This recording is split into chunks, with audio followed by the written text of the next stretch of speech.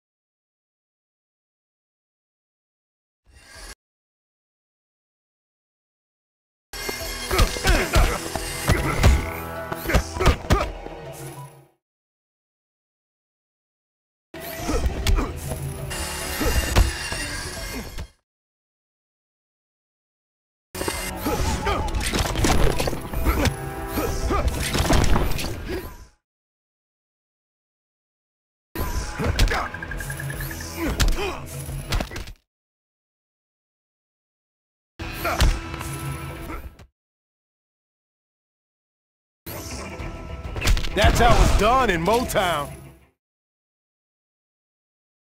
You better call an audible. I'm almost embarrassed for you.